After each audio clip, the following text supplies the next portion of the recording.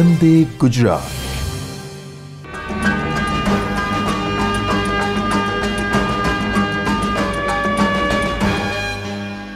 નમસ્કાર વિદ્યાર્થી મિત્રો. હવે આપણે આ લેક્ચરમાં સવર્ગ સંયોજનોમાં ધાતુ કાર્બોનિલમાં બંધન કઈ રીતે હોય છે એ જોઈએ. તો અહીં આગળ ધાતુ કાર્બોનિલ સંયોજનમાં જે લિગેન્ડ તરીકે લિગેન્ડ તરીકે તટસ્થ લિગેન્ડ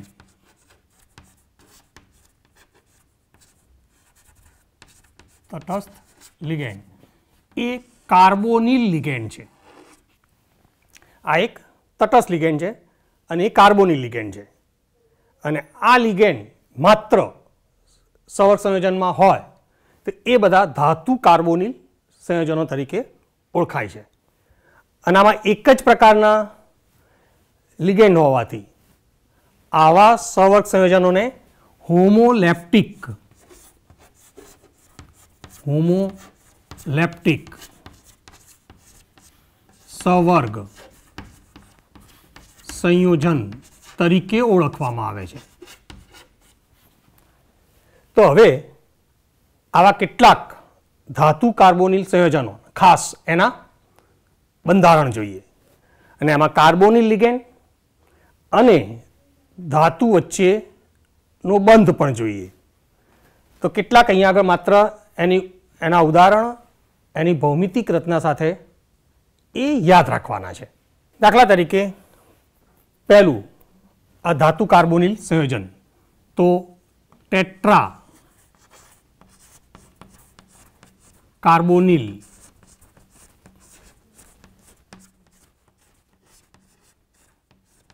નિકલ. અને બ્રેકેટમાં નિકલનો ઓક્સિડેશન આંક શૂન્ય. એટલે આ હોમોલેક્ટિક ધાતુ કાર્બોનિલ સવર્ગ સંયોજન હશે. તે દરેકમાં જે ધાતુ પરમાણુ હશે, એનો ઓક્સિડેશન આંક શૂન્ય હોય છે. આનું આપણે આ રીતે સૂત્ર પણ અગાઉ લખેલું જ છે કે અહીંયા આગળ નિકલ ધાતુ પરમાણુ, એની સાથે ટેટ્રા કાર્બોનિલ એટલે ચાર કાર્બોનિલ લિગેન્ડ જોડાયેલા છે. તો એનું સૂત્ર છે. આની ભૌમિતિક રચના. તો અહીંયા આગળ નિકલ કે જેનું સંકરણ એસપી થ્રી છે. તો નિકલ સાથે જોડાયેલા ચાર કાર્બોનિલ લિગેન્ડ એ આવી સમચતુષ્ફલકીય રચનામાં જોડાયેલા છે. એટલે આ બે બોન્ડ એ બોર્ડના સમતલમાં જ છે. હવે આ ધાતુ અને કાર્બોનિલ લિગેન્ડ વચ્ચેનો બંધ એ આપણી તરફ આવતો છે બોર્ડના સમતલથી આગળની બાજુ. જ્યારે આ બંધ બોર્ડના સમતલની પાછળની બાજુ જાય છે. એટલે આ જે રચના થશે એ સમચતુષ્ફલકીય થશે. એટલે આમ ટેટ્રા કાર્બોનિલ નિકલ શૂન્ય એની ભૌમિતિક રચના સમચતુષ્ફલકીય છે. એ જ પ્રમાણે આપણે બીજું લઈએ અહીં આગળ તો પેન્ટા કાર્બોનિલ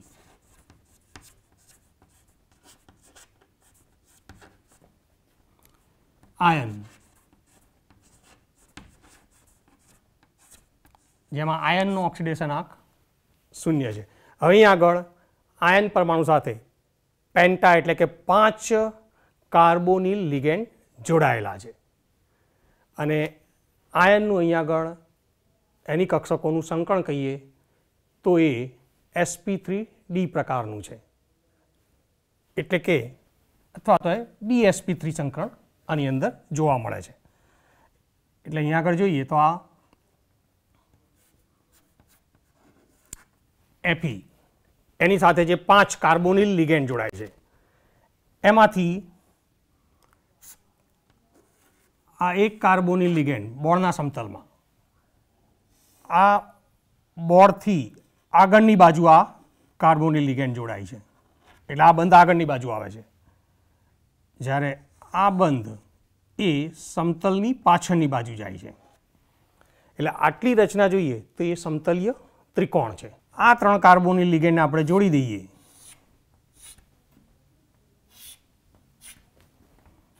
તો આટલો આકાર સમતલીય ત્રિકોણ બનશે.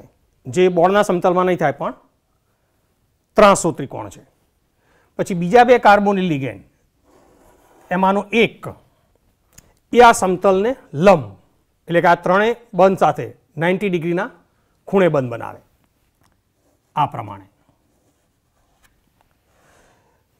જો એ લિગેન્ડને આ સમતેલ્ય ત્રિકોણના ત્રણેય ખૂણા સાથે જોડી દઈએ.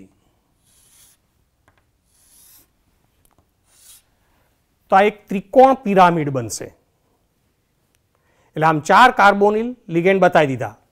અને હવે પાંચમો કાર્બોનિલ લિગેન્ડ એ આ સમતલને લંબ જ, પણ નીચેની બાજુ. એટલે એક્ઝેક્ટ આની સામે હોય છે. અને જેમ આને આ ત્રિકોણના ત્રણેય ખૂણા સાથે જોડ્યો, એમ આ લિગેન્ડને પણ આ ત્રિકોણના ત્રણેય ખૂણા સાથે જોડી દઈએ.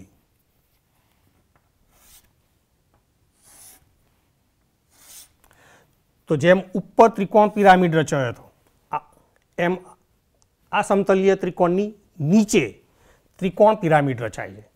એટલે આવા બે ત્રિકોણ આકારના પિરામિડ અહીંયા આગળ એની રચનામાં જોવા મળે. એટલે પેન્ટાકાર્બોનિલ આયન, શૂન્ય. એની ભૌમિતિક રચના કહેવાય છે ત્રિકોણીય દ્વિપિરામિડલ. ત્રિકોણીય દ્વિ પિરામિડલ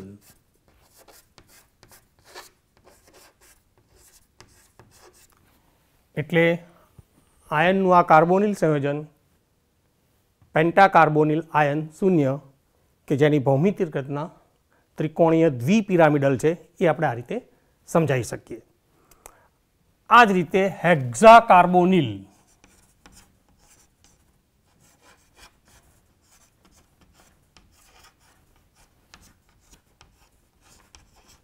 hexa carbonyl chromium.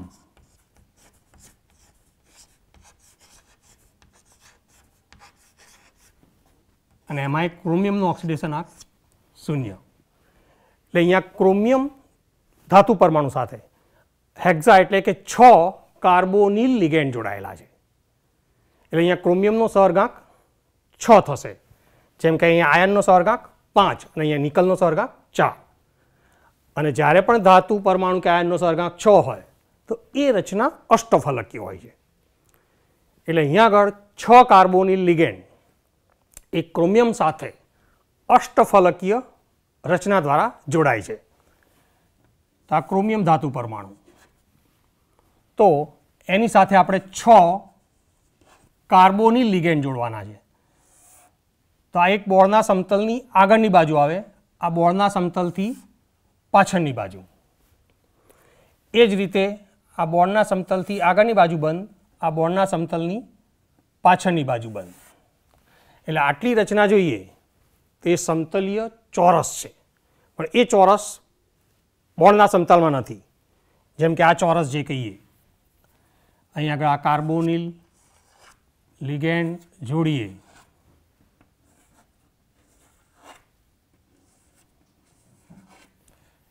તો આ ચારે લિગેન્ડ ને જો આ રીતે જોડી દઈએ,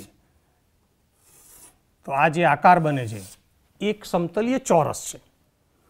દ્વિપરિમાણમાં, એટલે કે આ બોર્ડ ઉપર, આ આકાર આપણને લંબચોરસ દેખાય છે. પણ આખો ચોરસ એ બોર્ડના સમતલમાં નથી, પણ આમ ત્રાસો છે. આ બે બંધ બોર્ડના સમતલથી આગળ આવે છે. આ બે બંધ બોર્ડના સમતલની પાછળ જાય છે. એટલે આમ છ કાર્બોનિલ લિગેન્ડ એ ક્રોમિયમ સાથે જોડવાના છે. એમાંથી ચાર સમતલીય સમચોરસ આકારે જોડ્યા. બાકી રહ્યા બે. તો એમાંનો એક કાર્બોનિલ લિગેન્ડ એ આ રીતે. એટલે કે આ સમતલીય ચોરસને લંબ રૂપે એટલે કે આ ચારે બંધ સાથે નાઇન્ટી ડિગ્રીના ખૂણે ઉપરની તરફ હશે. અને જો એને આપણે આ ચોરસના ચારે ખૂણા સાથે જોડી દઈએ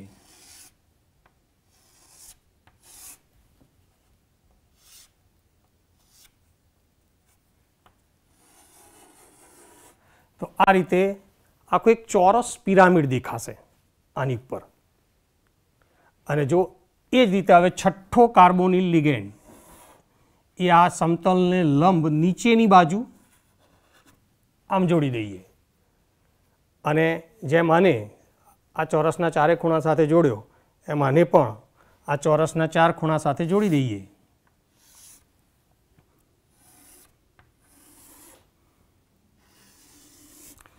તો એ જ પ્રમાણે ઊંધો ચોરસ પિરામિડ આપણને નીચે તરફ જોવા મળશે. એટલે ઉપર એક ચોરસ પિરામિડ, નીચે એક ચોરસ પિરામિડ. ચોરસ પિરામિડના ચાર ફલક હોય છે ત્રિકોણ ત્રિકોણાકારના. એટલે ઉપર ચાર ત્રિકોણાકારના ફલક અને નીચેના ચોરસ પિરામિડના ત્રિકોણાકાર ચાર ફલકો. એટલે ટોટલ આઠ ફલક છે. એટલે આ ભૌમિતિક રચના કહેવાય છે અષ્ટફલકીય.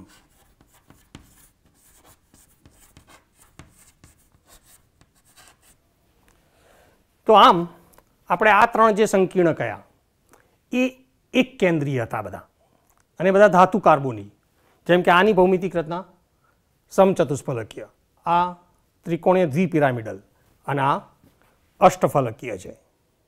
ત્રણેયમાં ધાતુ આયનનું ઓક્સિડેશન આંક શૂન્ય છે. હવે આપણે અહીંયા આગળ બીજા બહુ કેન્દ્રીય સંકીર્ણના એક બે ઉદાહરણ લઈએ.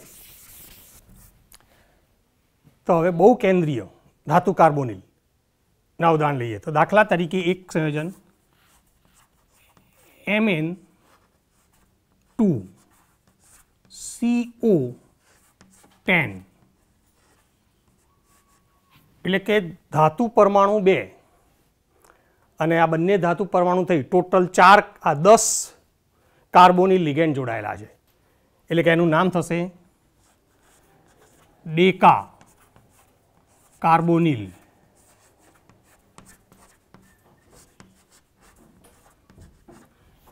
Deca carbonyl. Di manganese.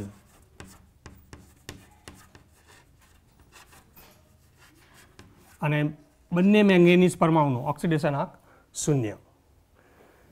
તો અહીંયા આગળ આવા બે એકમો છે. એક છે એમએન સીઓ ફાઇવ જે ચોરસ પિરામિડલ છે.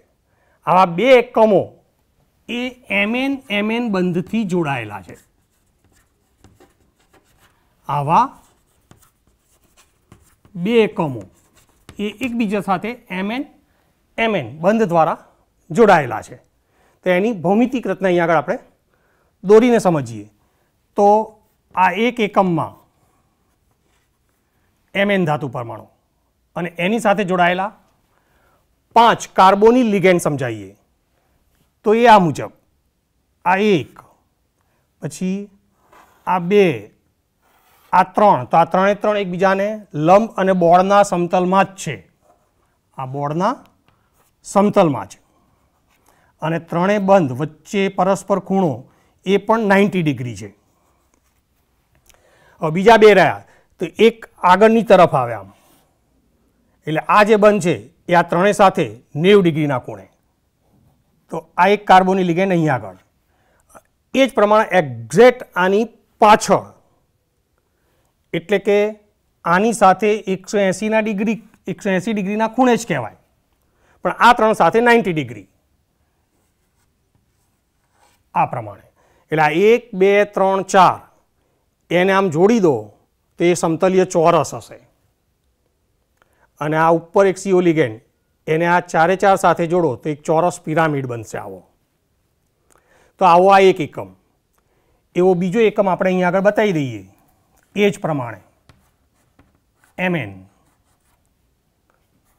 તો અહીં આગળ આ સિયુલિગેન્ડ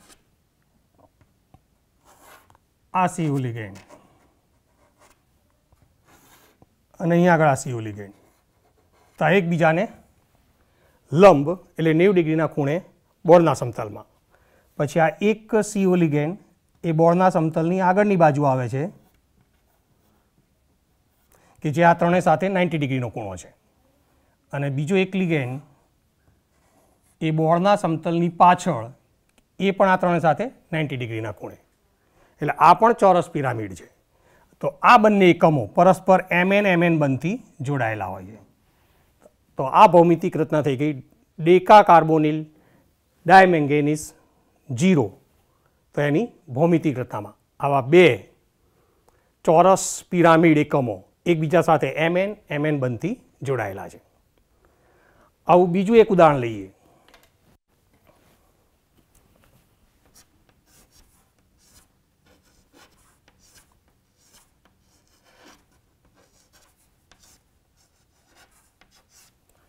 તો અહીંયા આગળ આ પણ બહુ કેન્દ્રીય કે જેમાં બે ક્રોમિયમ ધાતુ પરમાણુ, કેન્દ્રીય પરમાણુ તરીકે અને ટોટલ આઠ કાર્બોનિલ લિગેન્ડ આની સાથે જોડાયેલા છે. તો અહીં આગળ આ બે ક્રોમિયમ પરમાણુ એકબીજા સાથે જોડાયેલા છે આ રીતે. અને બંનેથી આની જોડે ચાર અને આની જોડે ચાર. એમ આપણે આ કાર્બોનિલ લિગેન્ડ જોડીશું.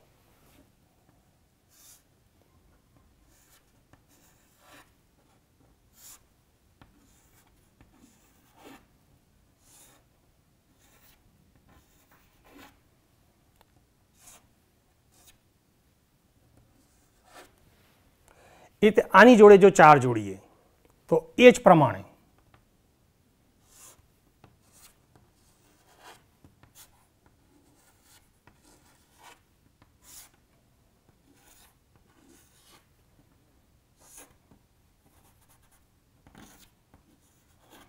આ પ્રમાણે. એટલે આમ બે ક્રોમિયમ વચ્ચે એક બંધ તો છે જ, પણ આ જે બે સીઓલિગેન્ડ છે એ બંને ક્રોમિયમ વચ્ચે આ રીતે સેતુ બંધ બનાવે છે. એટલે અહીંયા આગળ આ બે ક્રોમિયમ પરમાણુ એકબીજા સાથે આવા બે કાર્બોનિલ લિગેન્ડના સેતુબંધ દ્વારા જોડાયેલા છે. તો આ જે ભૌમિતિક રચના છે એ ઓક્ટા કાર્બોનિલ ડાયક્રોમિયમ શૂન્યની છે. એટલે આ ઓક્ટા કાર્બોનિલ એટલે કે આઠ કાર્બોનિલ લિગેન્ડ. ડાય, ક્રોમિયમ. શૂન્ય. એટલે આમ આ બે ઉદાહરણ એવા છે કે જે બહુ કેન્દ્રીય ધાતુ કાર્બોનિલ સંયોજનના છે. અને એની આ ભૌમિતિક રચનાઓ. હવે આમાં આપણે ધાતુ અને કાર્બોનિલ વચ્ચેના બંધનનો સ્વભાવ કઈ રીતે છે? એની સમજૂતી આપીએ. તો અહીંયા આગળ ધાતુ કાર્બોનિલ સંયોજનમાં જે ધાતુ અને કાર્બોનિલ લિગેન્ડનો કાર્બન, આ બંધ એ સિગ્મા અને પાય બંને પ્રકારનો સ્વભાવ ધરાવે છે. આને સંકર્મ અસર કહેવાય છે. અને અહીંયા આગળ આવા બંને પ્રકારના બંધ બનતા હોવાથી આ બંધ વધારે મજબૂત હોય છે. એટલે ધાતુ કાર્બોનિલ સંયોજનો એ વિશેષ રીતે સ્થિરતા પ્રાપ્ત કરતા હોય છે. તો હવે બંને સિગ્મા અને પાય બંધ કઈ રીતે રચાય છે એ આપણે આકૃતિમાં જોઈએ.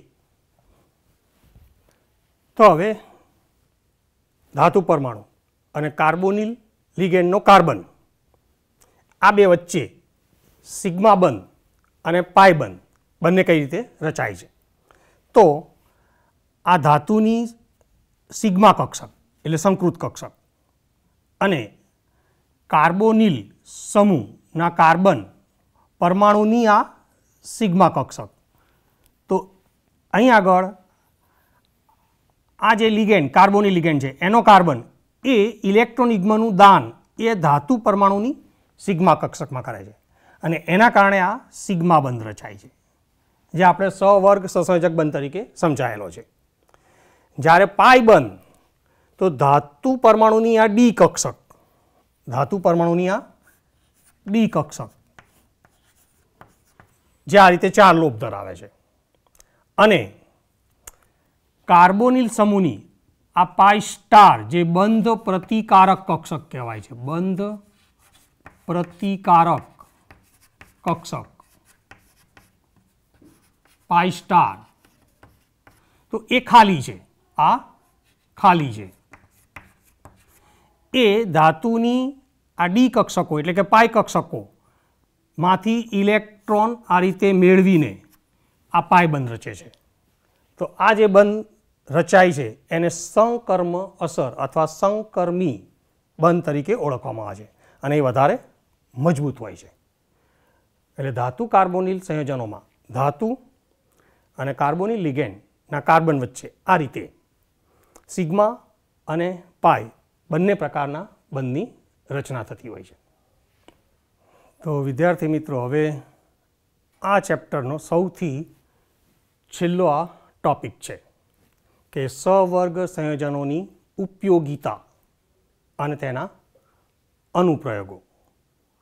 યાદ રાખો, આ ટોપિક માત્ર ઓબ્જેક્ટિવ તરીકે અને એમસીક્યુમાં જ પૂછાતો હોય છે. એટલે આમાં ખાસ મુદ્દા પ્રમાણે સવર્ગ સંયોજનની ઉપયોગિતાને બરાબર યાદ રાખવાની છે.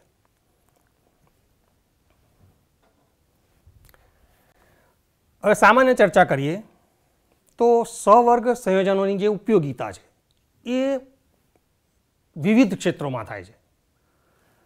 દાખલા તરીકે એના ઉપયોગો એ ઔદ્યોગિક પ્રક્રિયાઓમાં ઉદ્દીપક તરીકે થાય. ધાતુ કર્મવિધિમાં, ધાતુના નિષ્કર્ષણમાં કે ધાતુના શુદ્ધિકરણમાં થાય છે.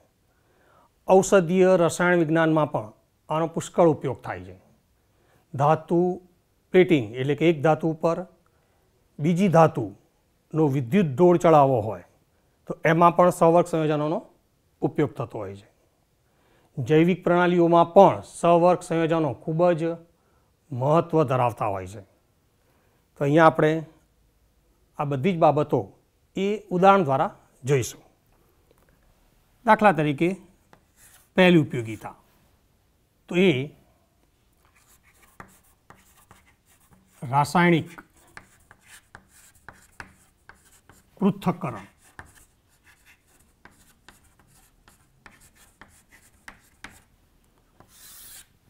હવે રાસાયણિક પૃથ્થકરણ, તો ખાસ એમાં બે પ્રકારના. એક ગુણાત્મક પૃથ્થકરણ. ગુણાત્મક પૃથ્થકરણ.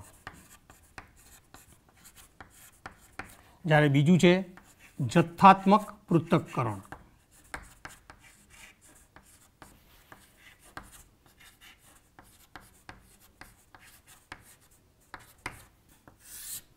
આ બંને પ્રકારના રાસાયણિક પૃથ્થકરણમાં સવર્ગ સંયોજનો એ ઉપયોગી છે.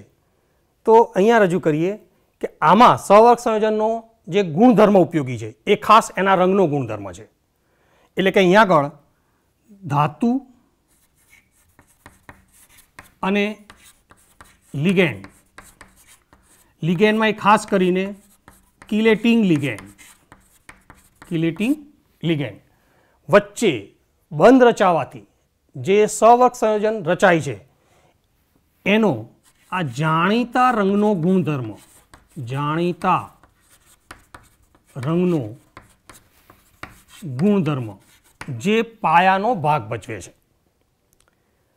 આ જે રંગ છે, એની તીવ્રતા અને એ રંગ એ અહીંયા ચીરસંમત ઉપકરણીય પદ્ધતિઓ દ્વારા માપવામાં આવે છે. અને એ રંગ આ સવર્ગ સંયોજન રચાવાને કારણે હોય છે. અને એના આધારે આ સંકીર્ણમાં હાજર ધાતુની પરખ કરી શકાય, કે જેને ગુણાત્મક પૃથ્થકરણ કહેવાય. અને એ જે રંગની તીવ્રતા ઉપરથી એ ધાતુનું પ્રમાણ કેટલું છે, એટલે કે એનું જથ્થાત્મક પૃથ્થકરણ કરી શકાય છે. એટલે આમ આ એક રાસાયણિક વિશ્લેષણ અથવા રાસાયણિક પૃથ્થકરણની પદ્ધતિમાં સવર્ગ સંયોજનોનો ઉપયોગ કહેવાય. એટલે ફરી કહીએ, તો ગુણાત્મક પૃથ્થકરણ, એટલે કે કઈ ધાતુ હાજર છે, એ ધાતુની પરખ કરવી. બીજું જથ્થાત્મક પૃથ્થકરણ, એટલે કે હાજર ધાતુ કેટલા પ્રમાણમાં હાજર છે તેને કહેવાય જથ્થાત્મક પૃથ્થકરણ.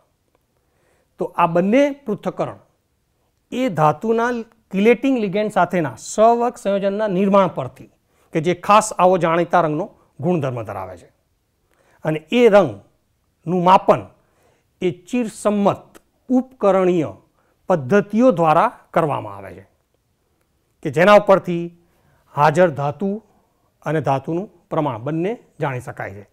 તો આવા જે કિલેટિંગ લિગેન્ડ છે, તો આવા કિલેટિંગ લિગેન્ડ જે ખાસ કરીને અહીંયા આગળ વપરાય છે, એમાં એક છે ઈડીટીએ એટલે ઇથિલિન ડાયમાઇન ટેટ્રાએસિટેટો બીજો છે ડીએમજી ડાયમિથાઇલ ગ્લાયોક્ઝાઇમ છે. પછી આ રીતે બીજો વપરાતો લિગેન્ડ છે. Alpha nitroso. Alpha nitroso. Beta naphthol. તો આ પણ એક લિગેન્ડ છે. જે કિલેટિંગ લિગેન્ડ છે. ત્યાર પછી હજી એક ઉદાહરણ આપ્યું છે ક્યુપ્રોન. ક્યુપ્રોન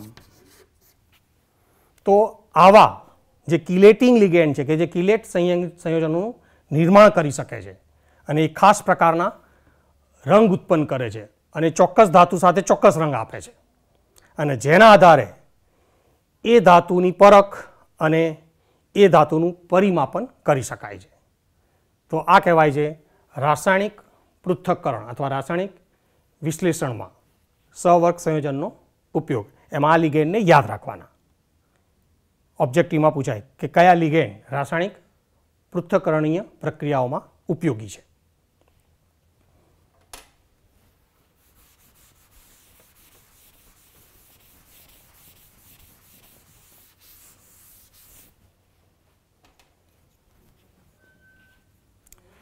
પછી સવર્ગ સંયોજનનો બીજો ઉપયોગ. એ પાણીની કઠિનતા માપવા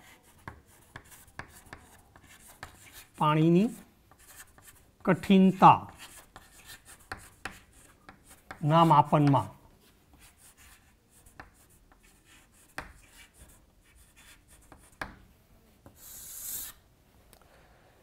અહીં આગળ પાણીની કઠિનતા માપવા માટે જે સવક સંયોજન ઉપયોગી છે એ એને ટુ ઈડીટીએ છે.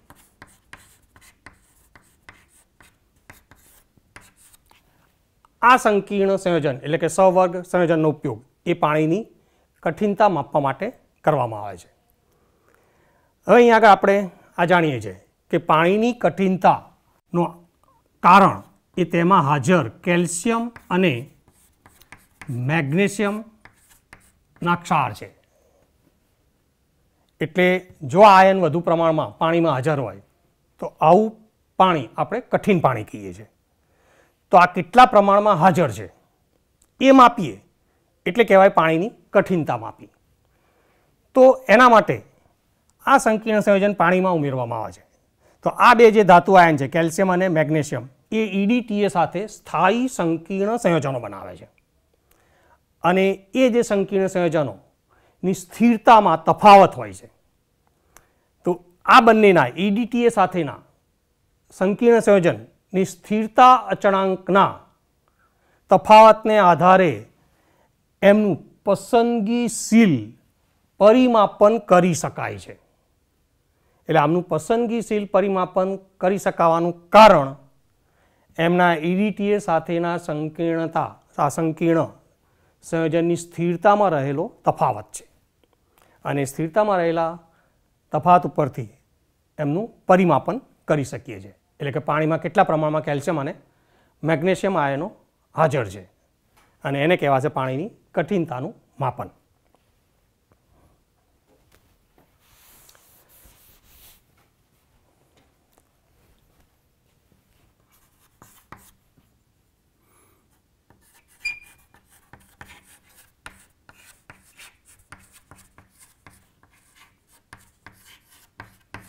પછી ત્રીજો ઉપયોગ કહીએ.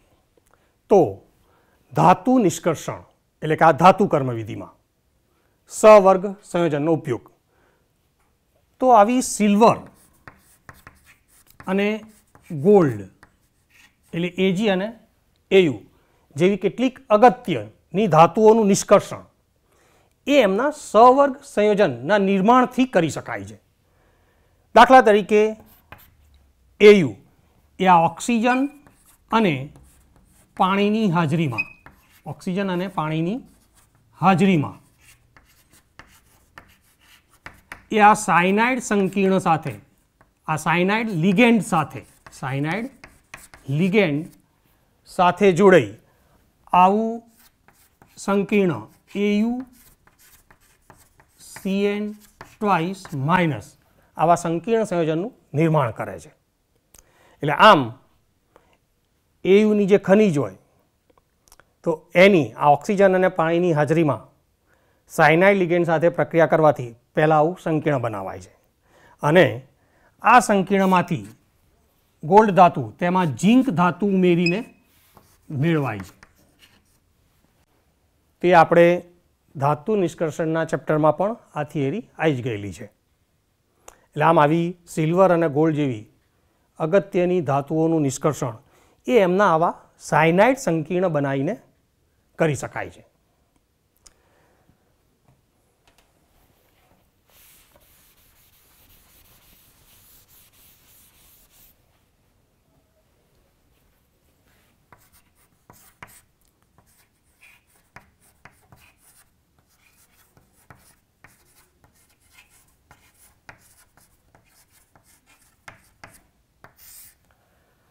ચોથો ઉપયોગ જોઈએ તો ધાતુ શુદ્ધિકરણ. એટલે કે આ પણ ધાતુ કર્મવિધિમાં જ આવે છે. એકવાર ધાતુનું નિષ્કર્ષણ થઈ જાય, પછી એ ધાતુનું શુદ્ધિકરણ કરવાની જરૂર પડતી હોય છે. કેમ કે હંમેશા ધાતુ જ્યારે નિષ્કર્ષિત કરવામાં આવે ત્યારે અશુદ્ધ સ્વરૂપમાં હોય છે. તો અહીંયા પણ પહેલાં અશુદ્ધ ધાતુમાંથી સવર્ગ સંયોજન બનાવાય છે. અને પછી એ સવર્ગ સંયોજનનું વિઘટન કરી શુદ્ધ ધાતુ મેળવાય છે. એટલે કે અહીંયા આગળ જે ક્રમ છે, તો અશુદ્ધ ધાતુ. એમાંથી એનું સવર્ગ એટલે કે સંકીર્ણ સંયોજન બનાવવામાં આવે. અને પછી આ સંકીર્ણ સંયોજનના નિર્માણથી, આ વિઘટનથી આનું વિઘટન કરવામાં આવે. અને એ વિઘટનથી અહીંયા આગળ શુદ્ધ ધાતુ મેળવવામાં આવે છે. તા એનો એક સાદો, બે ક્રમિક પ્રક્રિયાનો ક્રમ થઈ ગયો. સવક સંયોજનનું નિર્માણ અને પછી સવક સંયોજનનું વિઘટન. અને એના ઉપરથી અશુદ્ધ ધાતુમાંથી શુદ્ધ ધાતુ મેળવવામાં આવે. દાખલા તરીકે, નિકલનું શુદ્ધિકરણ કરવું હોય, તો અહીંયા આપણે અશુદ્ધ નિકલ હોય. અશુદ્ધ નિકલ. તો એમાંથી નિકલનું આ સંકીર્ણ સંયોજન એનઆઈસીઓ ફોરનું નિર્માણ કરવામાં આવે છે. ટેટ્રા કાર્બોનિલ નિકલ, એટલે કે ધાતુ કાર્બોનિલ સંયોજન. અને એનું વિઘટન કરી અહીંયા આગળ શુદ્ધ નિકલ ધાતુ મેળવવામાં આવે છે. તો આપણે અગાઉ ધાતુ નિષ્કર્ષણના ચેપ્ટરમાં મોન્ડ કાર્બોનિલ પદ્ધતિમાં આ વાત શીખી જ ગયા છીએ. એટલે આમ ત્રીજો અને ચોથો બંને ઉપયોગ એ ધાતુ કર્મ વિધિમાં સવર્ગ સંયોજનની ઉપયોગિતા અથવા અનુપ્રયોગ કહેવાય છે. હવે આપણે સવર્ગ સંયોજનોની જૈવિક પ્રણાલીમાં ઉપયોગિતાના કેટલાક ઉદાહરણ લઈએ. દાખલા તરીકે એમાં પહેલું એક ઉદાહરણ લઈએ. તો પ્રકાશ સંશ્લેષણ. તો પ્રકાશ સંશ્લેષણ માટે જે જવાબદાર સંકીર્ણ છે, એ કહેવાય છે ક્લોરોફિલ. આ ક્લોરોફિલ એ લીલા રંગનો વર્ણક, એટલે કે સંકીર્ણ સંયોજન છે કે જે આ પ્રકાશ સંશ્લેષણ માટે જવાબદાર કહેવાય છે. એટલે કે પ્રકાશ સંશ્લેષણની પ્રક્રિયા આની હાજરીમાં જ થાય છે. તો આ ક્લોરોફિલ એ મેગ્નેશિયમ ધાતુનો સંકીર્ણ સંયોજન છે. એ જ રીતે પ્રાણીઓના રુધિરમાં, એટલે કે અહીંયા આગળ, રુધિર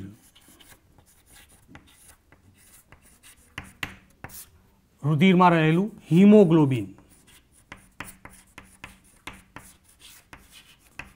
જે એક લાલ રંગનું સંકીર્ણ છે, એટલે લાલ વર્ણક કહે છે, કે જેના કારણે લોહી આપણને લાલ લાગે છે. તો આ હિમોગ્લોબિન એ શરીરમાં ઓટુ એટલે ઓક્સિજનના વાહક તરીકેનું કાર્ય કરે છે. તો આ હિમોગ્લોબિન એ એફી ધાતુનો, એટલે કે આયન ધાતુનો સંકીર્ણ છે. જે પ્રમાણે ક્લોરોફિલ એમજી ધાતુનો સંકીર્ણ છે, એ જ પ્રમાણે હિમોગ્લોબિન એ એફી ધાતુનો સંકીર્ણ કહેવાય. આ શરીરમાં એ ઓક્સિજનના વાહક તરીકેનું અગત્યનું કાર્ય કરે છે. આવો ત્રીજો અગત્યતા ધરાવતો સંકીર્ણ કહીએ તો એ છે vitamin B twelve. Vitamin B twelve. જેને કહેવાય છે સાઇનો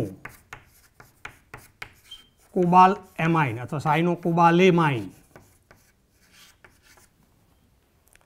તો વિટામિન બી ટ્વેલ્વ, એની ઉણપથી લોહીમાં અલ્પતા જોવા મળે છે. એટલે આ એક રક્ત અલ્પતા માટેનું પરિબળ કહેવાય છે. એટલે કે જો લોહીમાં વિટામિન બી ટ્વેલ્વની અપૂર્ણતા હોય, એની ઉણપ હોય, તો એ રક્ત અલ્પતા કહેવાય છે. એટલે આ રક્ત અલ્પતાનું પરિબળ કહેવાય છે. જે કોબાલ્ટ ધાતુનો સંકીર્ણ કહેવાય છે. સાયનો કોબાલેમાઇન એટલે એના પરથી ખબર પડે કે આમાં હાજર ધાતુ કઈ છે? કોબાલ્ટ. એટલે આ ફક્ત પ્રાણીઓમાં જ હોય છે, વનસ્પતિમાં હોતો નથી. એટલે કોઈ પણ વનસ્પતિ આહાર દ્વારા વિટામિન બી ટ્વેલ્વ મળતું નથી. આ યાદ રાખવાનું. તો જો આ મુખ્ય જૈવિક પ્રણાલીઓમાં ઉપયોગી એવા સંવર્ગ સંયોજનો, ક્લોરોફિલ, હિમોગ્લોબિન અને વિટામિન બી ટ્વેલ્વ છે. આવા બીજા પણ જે જૈવિક અગત્યતા ધરાવતા ધાતુ લિગેન્ડ સંવર્ગ સંયોજનો છે. ધાતુ અને લિગેન્ડ વચ્ચેના બંધનથી રચાતા જે સહવર્ગ સંયોજનો કે જે જૈવિક પ્રણાલીમાં અગત્યતા ધરાવે છે, એ જૈવિક પ્રણાલીમાં ઉત્સેચક તરીકેનું કાર્ય કરે છે. ઉત્સેચક તરીકે વર્તે છે. ઉત્સેચક એટલે કે ઉદ્દીપક તરીકે. જૈવિક પ્રક્રિયાઓને વધારે વેગીલી બનાવે, જેના કારણે જીવન ટકી રહેતું હોય છે. તો આવા બીજા ઉદાહરણ કહીએ તો એમાં કહીએ તો એક કાર્બોક્સી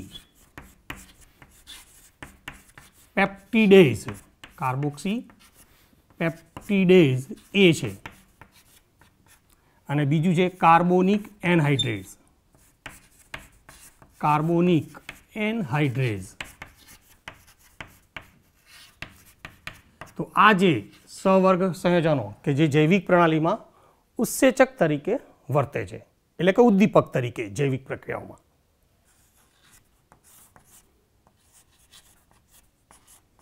હવે આપણે જોઈએ ઔદ્યોગિક પ્રક્રિયામાં. જેમ જૈવિક પ્રક્રિયામાં ઉદ્દીપક તરીકે વર્તે, ઉત્સેચકો કહેવાય. એ જ રીતે ઔદ્યોગિક પ્રક્રિયામાં ઉદ્દીપક તરીકે પણ સંવર્ગ સંયોજનો ઉપયોગી છે.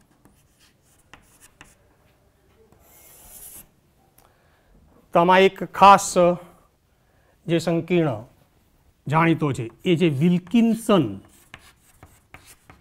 વિલ્કિન્સન ઉદ્દીપક. કે જેનું સૂત્ર P H thrice P. Three times. R H C L છે. આ વિલ્કિન્સન ઉદ્દીપક તરીકે ઓળખાય છે, જે આ રોડિયમ ધાતુનો સંકીર્ણ કહેવાય છે. રોડિયમ ધાતુનો સંકીર્ણ છે. એમાં ત્રણ જે આ લિગેન્ડ છે, એ ટ્રાયફિનાઇલ ફોસ્ફિન ટ્રાયફિનાઇલ ફોસ્ફિન કે જે ત્રણ લિગેન્ડ છે, અને આ ક્લોરાઇડો લિગેન્ડ છે. એ આ રોડિયમ ધાતુ સાથે જોડાયેલા છે. તો આ જે ઉદ્દીપક છે એ વિલ્કિન્સન ઉદ્દીપક તરીકે ઓળખાય છે. અને એનું કાર્ય એ ઉદ્યોગોમાં આલ્કિન સંયોજન જે હોય, આલ્કિન મતલબ કે એવા સંયોજનો કે જેમાં કાર્બન કાર્બન દ્વિબંધ હોય. તો એનું હાઇડ્રોજીનેશન કરવા થાય છે. આનું હાઇડ્રોજીનેશન.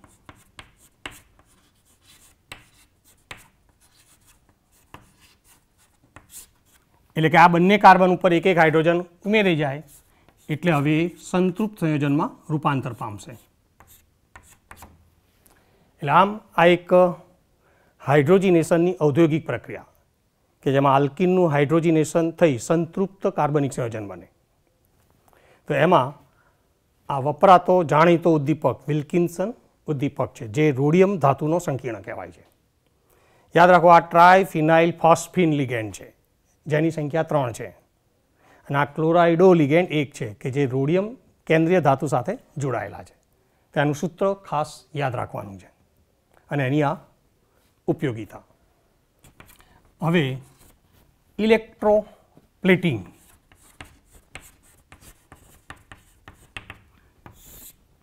એટલે કે એક ધાતુ ઉપર બીજી ધાતુનો વિદ્યુત ઢોળ ચડાવો દાખલા તરીકે કોઈ કલાકૃતિ હોય કલાકૃતિ.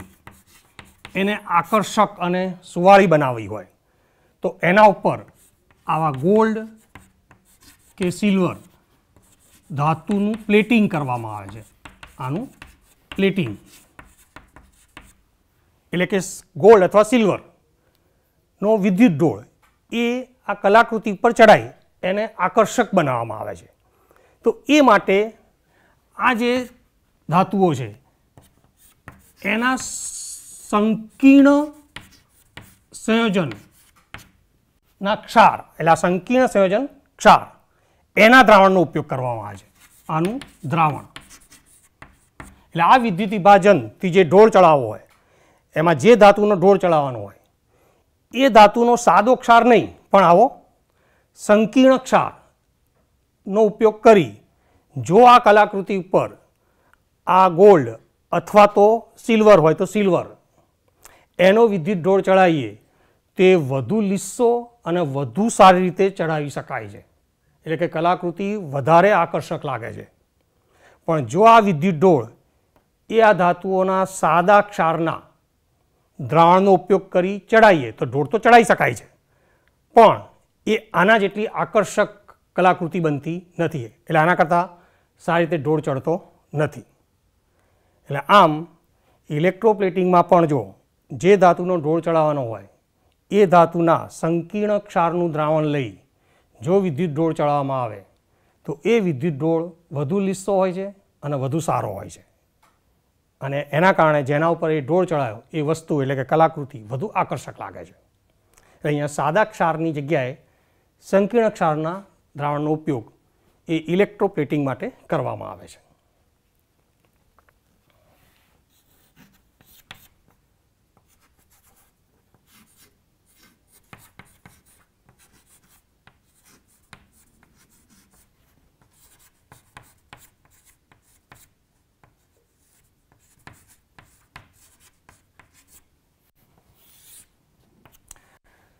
હવે શ્વેત શ્યામ ફોટોગ્રાફી, એટલે કે બ્લેક એન્ડ વ્હાઇટ ફોટોગ્રાફી.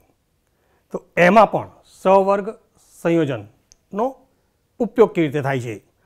તો શ્વેત શ્યામ ફોટોગ્રાફીમાં જે અહીં આગળ ફિલ્મ ને ડેવલપ કરવામાં આવે, ડેવલપ કરવામાં આવે છે.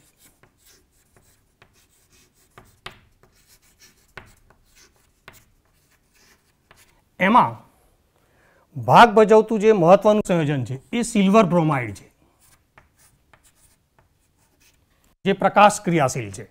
આ સંયોજન પ્રકાશ ક્રિયાશીલ. એટલે કે જો એના ઉપર સૂર્યપ્રકાશ પડે, તો તરત એનું વિઘટન થઈ જાય છે. અને એ ગુણધર્મનો ઉપયોગ અહીંયા આગળ ફોટોગ્રાફીમાં થાય છે. એટલે ફિલ્મ ઉપર સિલ્વર બ્રોમાઇડનું સ્તર હોય છે. ને એના ઉપર પ્રકાશ પાડી ફોટો પાડવામાં આવે છે. તો એકવાર ફોટો પાડ્યા પછી ફિલ્મને ડેવલપ કરો. તો પ્રકાશની તીવ્રતા મુજબ ફિલ્મ ઉપર સિલ્વર બ્રોમાઇડનું વિઘટન થઈ જાય છે.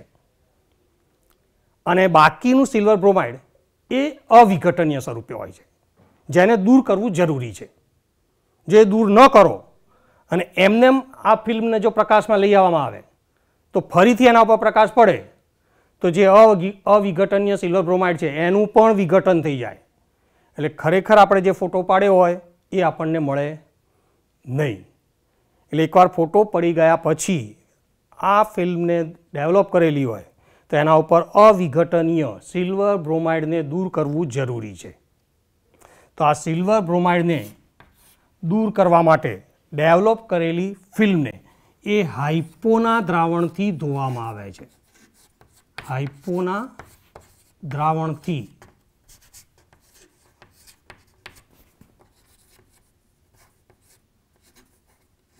ધોવામાં આવે છે.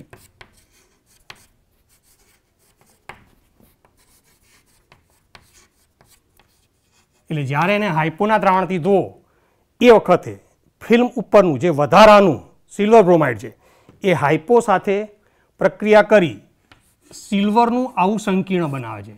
AG S two O three twice three minus અને જે પાણીમાં દ્રાવ્ય છે, આ પાણીમાં દ્રાવ્ય છે.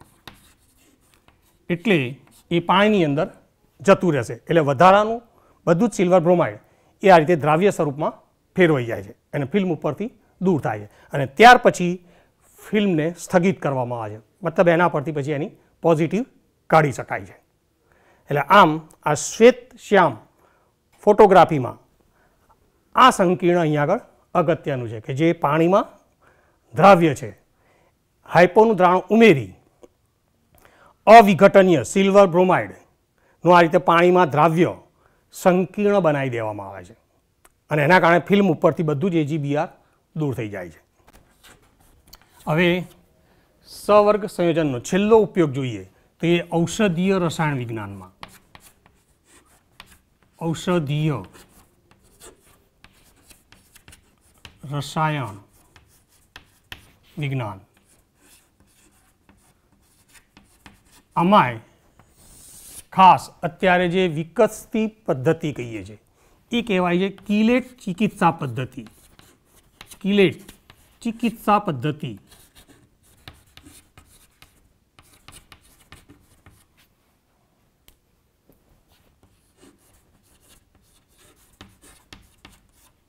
એટલે આ પદ્ધતિ વધુ રસદાયક અને વધુ ઉપયોગી છે.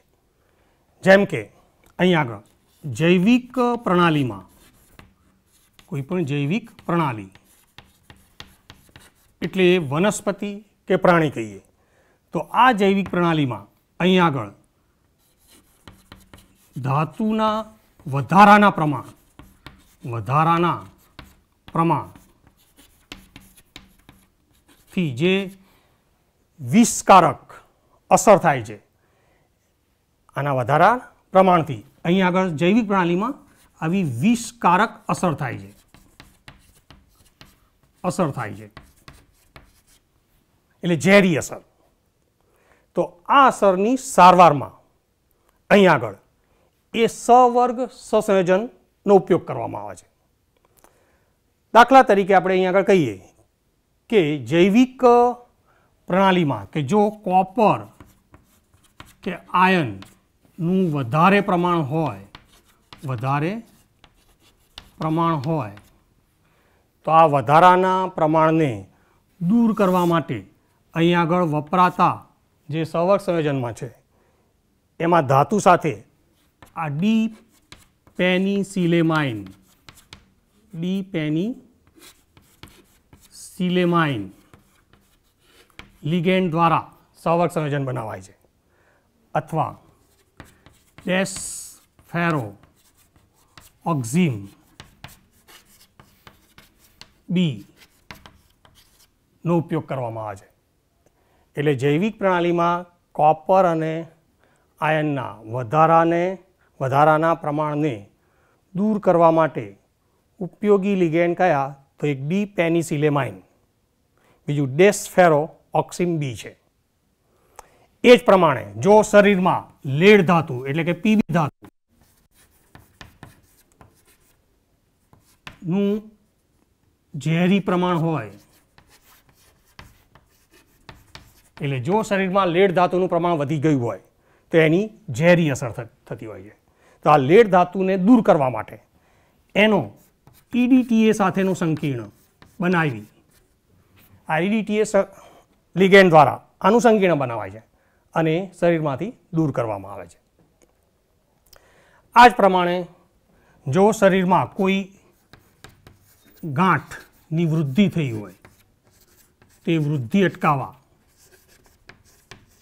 અટકાવવા, દાખલા તરીકે કેન્સરની ગાંઠ હોય, તો એની વૃદ્ધિ અટકાવવા માટે અહીં આગળ ખાસ કરીને પ્લેટિનમ સંબંધિત સંયોજનો, પ્લેટિનમ સંબંધિત એ ઉપયોગી છે. અગાઉ આપણે ચેપ્ટરમાં પ્લેટિનનું આવું એક સવર્ગ સંયોજન જોયું હતું કે જે હતું સીસ પ્લેટિન સીસ પ્લેટિન તો આ સીસ પ્લેટિન એ આ રીતે કેન્સરની ગાંઠની વૃદ્ધિ અટકાવવા માટે, એટલે કે કેન્સરની સારવાર માટે ઉપયોગી દવા કહેવાય છે. અને આ સિવાય પ્લેટિનમ સંબંધિત બીજા પણ સંયોજનો ઉપયોગી છે. એટલે આમ, ઔષધીય રસાયણ વિજ્ઞાનમાં આવી કિલેટ ચિકિત્સા પદ્ધતિથી અહીં આગળ વિષકારક અસરો અથવા તો આવી ગાંઠની વૃદ્ધિ એ સવર્ગ સંયોજનના નિર્માણથી અટકાવી શકીએ છીએ. અહીં આગળ સીસ પ્લેટિનનું એક વાર ફરીથી બંધારણ જોઈ લઈએ. તો સીસ પ્લેટિન કે જેનું સૂત્ર છે અહીં આગળ? PT NH three twice CL two અને એની ભૌમિતિક રચના સમતલીય સમચોરસ છે. અને આપણે જ્યારે સીસ પ્લેટિન કહીએ છીએ, ત્યારે આની સમતલીય સમચોરસ રચના ધરાવતો સીસ સમઘટક એ સીસ પ્લેટિન કહેવાય છે. એટલે કે પ્લેટિનમ અને એની સાથે સમતલીય સમચોરસ રચનામાં જોડાયેલા આ ચાર એકદંતીય લિગેન્ડ જેમાં બે અમાઇન લિગેન્ડ અને બે ક્લોરાઇડો હવે આને આપણે સીસ સમઘટક કહીએ, તો આ બે સમાન લિગેન્ડ એકબીજા સાથે નાઇન્ટી ડિગ્રીના એંગલે જોડવાના. એ રીતે બે સીએલ પણ નાઇન્ટી ડિગ્રીના એંગલે તો આ સીસ સ્પ્લિટિનનું બંધારણ છે. પણ જો સામ સામે સીએલ આવી જાય કે સામ સામે એને થ્રી આવી જાય તો એ ટ્રાન્સપ્લેટિન છે. અને એ કેન્સરની સારવારમાં ન વપરાય. તો આમ, આ કિલેટ ચિકિત્સા પદ્ધતિ અથવા તો ઔષધીય રસાયણ વિજ્ઞાનમાં સવર્ગ સંયોજનોનો ઉપયોગ જોયો આપણે. તો વિદ્યાર્થી મિત્રો, આપણે આ સવર્ગ સંયોજનો પ્રકરણમાં છેલ્લો ટોપિક એટલે કે સવર્ગ સંયોજનોની ઉપયોગિતા અને એના અનુપ્રયોગો. એના જુદા જુદા મુદ્દાઓ. એટલે જુદા જુદા ક્ષેત્રમાં એની ઉપયોગિતા જોઈ. તે દરેક ઉપયોગીતામાં કયા ઉપયોગ માટે કયું સંકીર્ણ સંયોજન અથવા કયું સહવર્ગ સંયોજન ઉપયોગી છે, એને ખાસ યાદ રાખવાનું. આ ટોપિક થિયરી તરીકે ન આવે, પણ એ ફક્ત ઓબ્જેક્ટિવ અને એમસીક્યુમાં જ આવે. તો આભાર વિદ્યાર્થી મિત્રો. તો આ સાથે અહીંયા આપણે આ પ્રકરણ પૂરું કરીએ છીએ. હવે પછીના લેક્ચરમાં આપણે નવા એક પ્રકરણની રજૂઆત જોઈશું.